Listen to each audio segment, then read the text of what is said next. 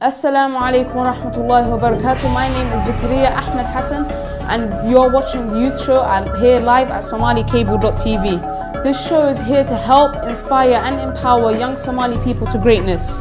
You can call in with your success stories, we would love to hear. Have you recently passed your GCSEs with flying colours? Have you had any university offers? We would love to hear that here at the youth show at SomaliCable.tv. Likewise, are you going through any problems that you'd like to talk about? Together, me and you and the rest of the Somali nation, we can have solutions to overcome these problems. Magacayga waxaa la dhahaa zakariya axmed xasan coke.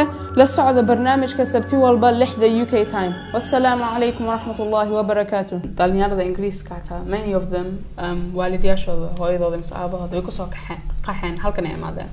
So um, essentially way dareemeen dibta of waxbarasho inaad aadisid inaad aadid meel fog inaad um, to walk like quite a long time to go study maths like si halkan your bus pass is free xataa ma bixinaysid waxna.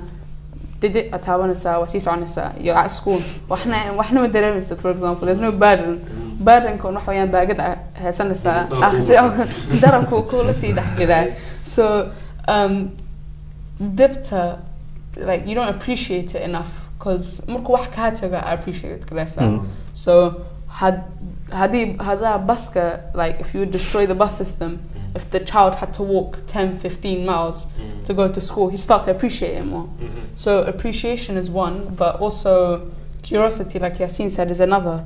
But the third one I think um, because when you're young you're you look up at your role models. So maybe we high and you have Walala Kawain and maybe themselves they don't care about college in air then maybe waxay umaleeyaan trust fund inuu ku soo dhex jiri doono bankkooda so they essentially as in they essentially believe that something is there it's ready for them already.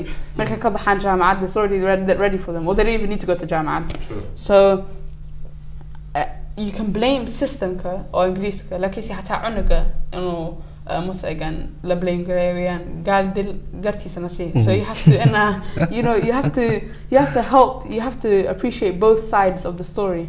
So i think as in maybe the youth in the uk or the youth in general need to start appreciating it more. What do you think